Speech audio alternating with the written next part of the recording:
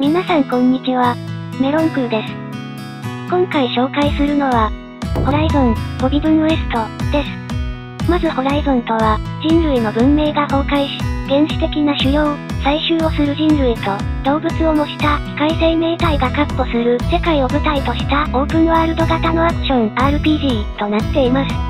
本作は前作のホライゾンゼロドローンと繋がっており、前作に登場したキャラクターやストーリーが出てくるので、前作をプレイしたことがある人はより楽しめるでしょう。また、2022年に新作が出るので、今回はそれについて解説します。それでは本編に行きましょう。まずなんといっても、このグラフィックですね。ホライゾンはオープンワールドで、広大なマップを、綺麗なグラフィックで冒険できていいですね。まずストーリーについて解説します。舞台は、1000年後の未来のアメリカ。緑豊かな森や荒廃した街、そびえる山々、西海岸地域の美しい海辺などが広がっています。また、大災悪に襲われ、機械獣と呼ばれる敵が大地を支配したり、新たな部族との遭遇が待っています。大地を覆う脅威に隠された謎を解き明かし、世界に秩序と調和を取り戻そうとしている。旅の途中、主人公はかつての仲間と合流し、古の遺産の謎を解き明かすストーリーとなっています。次に登場キャラクターについてです。まず主人公は、アーロイという女性です。アーロイは弓矢や槍を扱い、機械を狩るハンターです。そして右耳には、遺跡で偶然発見したフォーカスを装着しています。また、怪獣と呼ばれる敵がいて、動物の姿に変身しています。怪獣は自らの意志で動いており、アーロイを見つけると襲ってくるものや、大きな音を出すと逃げていく、怪獣もいます。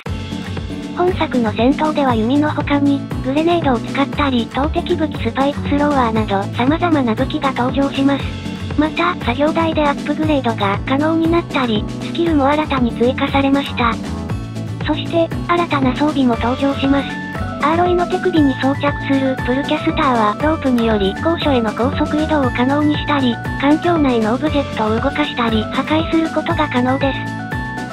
シールドウィングというものも登場し、高所からの安全な滑空を可能で、上空から敵に奇襲をかけるなどにも活用できます。また、新たに加わった水中フィールドでは、潜水マスクを装着することで自由に水中を泳ぎ探索することができるようになります。前作よりもいろんなことが増えており、自由度がより増しましたね。ホライゾン、フォービブンウエストの発売日は、2022年2月18日です。ホライゾンを初めて知った方は、まず前作のホライゾンゼロドーンをプレイして、2022年発売の新作ホライゾンをプレイするとより楽しめるので、ぜひプレイしてはいかがですか？ホライゾンはグラフィックやストーリーがものすごくいいので、RPG が好きな方にはハマると思います。他にも皆さんが紹介してほしいゲームがあったらコメント欄で教えてください。ご視聴ありがとうございました。チャンネル登録よろしく